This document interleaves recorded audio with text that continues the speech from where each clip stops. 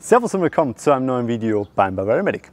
Den Leuten, die unserem Kanal schon länger folgen, denen ist vielleicht aufgefallen, dass wir euch noch ein Video schuldig sind. Und zwar das vom Kindernotfallkoffer aus dem BKTW. Und da schauen wir uns heute einmal den Inhalt genauer an. Viel Spaß beim heutigen Video.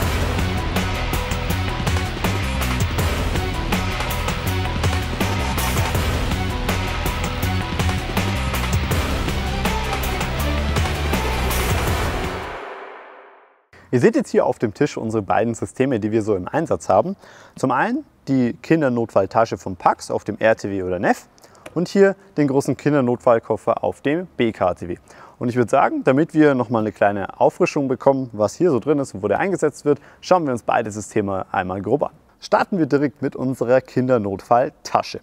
Hier haben wir die Eigenschaft, dass wir diese zusätzlich zu unserem normalen Notfallrucksack mitnehmen müssen, da wir hierbei zum Beispiel kein Blutdruckmessgerät mit drin haben, sondern nur die entsprechende Manschette. Da brauchen wir dann das Gerät aus dem Rucksack. Diese Tasche wiegt 5 Kilo und ist wie gesagt auf dem RCW oder NEF verlastet. Und nun das Objekt, um das es im heutigen Video eigentlich geht, den Kindernotfallkoffer. Der kann eigenständig in den Einsatz mitgeführt werden und wiegt im Vergleich zur Tasche 15 Kilo, also sprich fast dreimal so viel. Und warum dieser jetzt eben 10 Kilo mehr wiegt als die Tasche, das schauen wir uns jetzt an. Wenn wir den Koffer öffnen, sehen wir auch direkt schon den Innenaufbau. Wir haben einmal im Deckelfach diese Magnettüren, die sich ganz einfach öffnen und schließen lassen. Die sind dazu da, dass der Inhalt nicht rausfliegt, wenn man das Ganze öffnet. Und wir persönlich haben den Inhalt selbst nochmal in diese Packs-Innentaschen gegliedert, damit ich die einfach direkt rausnehmen kann und daraus arbeiten kann. Was uns direkt schon ins Auge sticht, wenn wir das Ganze öffnen, ist diese Sauerstoffflasche hier. Das ist eine 2 Liter Sauerstoffflasche, um einfach direkt auch schon eine Sauerstofftherapie durchführen zu können mit entsprechenden Darreichungsformen. Hier einmal die Sauerstoffbrille für Kinder und hier die Maske, also alles einfach eine Nummer kleiner.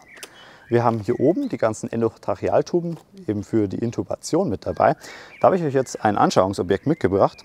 Das hier wäre ein klassischer Tubus, wie wir ihn bei der erwachsenen Frau oder beim erwachsenen Mann anwenden. Ein 7er Tubus, also sprich der Innendurchmesser ist 7 mm.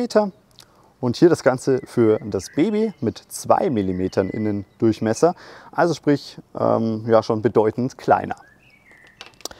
Hier haben wir jetzt nochmal einen Beatmungsbeutel für Kinder mit dabei. Also auch der, man sieht es, im Vergleich zum normalen schon eine gute Nummer kleiner.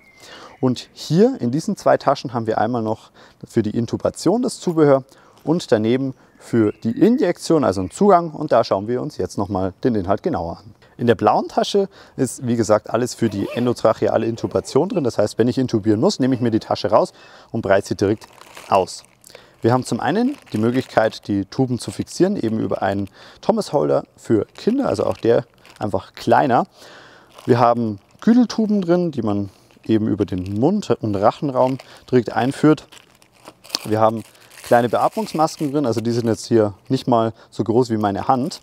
Und was jetzt hier besonders ist, eben für Kinder, das ist das Laryngoskop. Das ist hier einmal der Griff und jetzt zeige ich euch zwei verschiedene Spatel. Also das ist hier einmal der Spatel Macintosh, den kennen wir auch von Erwachsenen.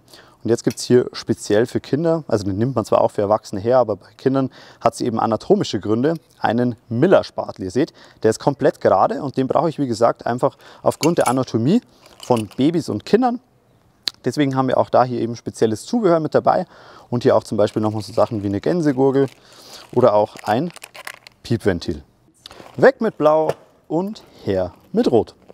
In der roten Tasche befindet sich alles für den intravenösen Zugang. Das heißt, wenn wir diese Tasche öffnen, dann finden wir hier direkt einmal die ganzen Venenzugänge. Und da habe ich jetzt hier auch nochmal ein Anschauungsobjekt dabei. Das hier wäre die klassische Nadel, die ich eigentlich bei jedem erwachsenen Patienten legen kann. Also grün. Und das hier ist eine Babynadel. Die ist gelb und ihr seht auch schon den Längenunterschied die ist wesentlich dünner und vor allem auch wesentlich kürzer. Das heißt, ich habe hier einmal eben die Venenzugänge mit drin. Ich habe jetzt hier auch nochmal speziell einfach eine Verlängerungsleitung mit dabei. Die nimmt man eigentlich bei Spritzenpumpen zum Beispiel her. Die haben wir jetzt hier nochmal mit drin.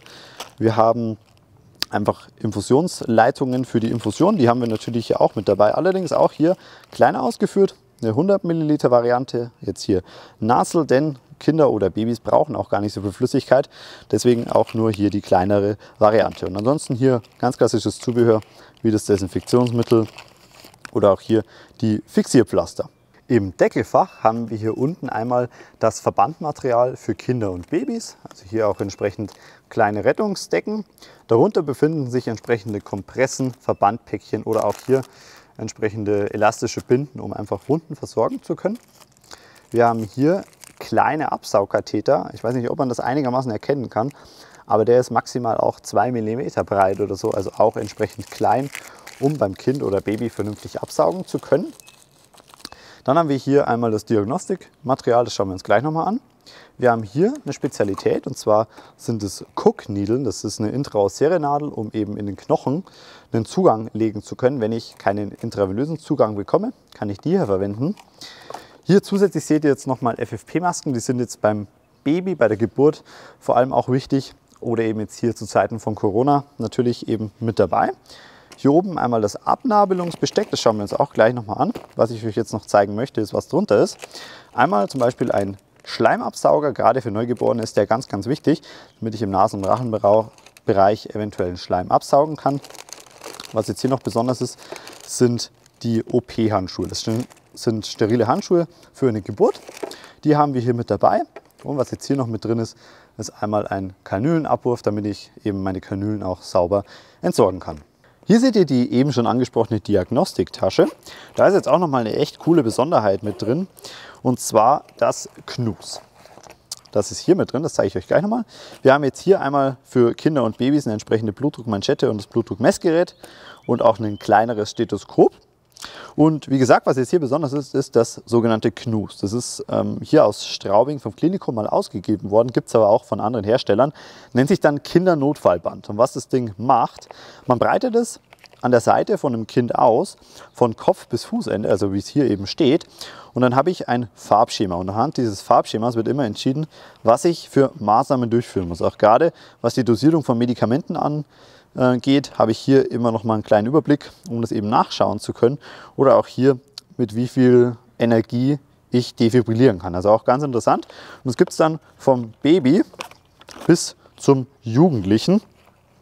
Geht es, also hier bis 10 Jahre kann man das eben verwenden.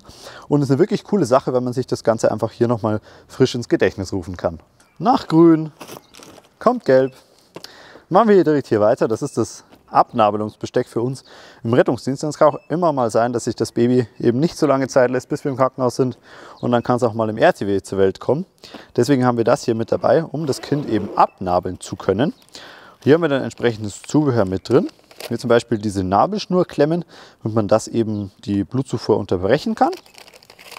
Damit man die Nabelschnur durchtrennen kann, haben wir hier auch nochmal eine entsprechende sterile Schere. Die ist auch deswegen steril, weil man ja zum Beispiel auch einen Dammschnitt durchführen müsste. Deswegen die hier mit dabei. Wir haben Saugkompressen. Die sind gerade dazu da, eben um bei vaginalen Blutungen das Ganze vorzulegen, damit die das eben auch sauber aufsaugen. Entsprechend auch viele Kompressen.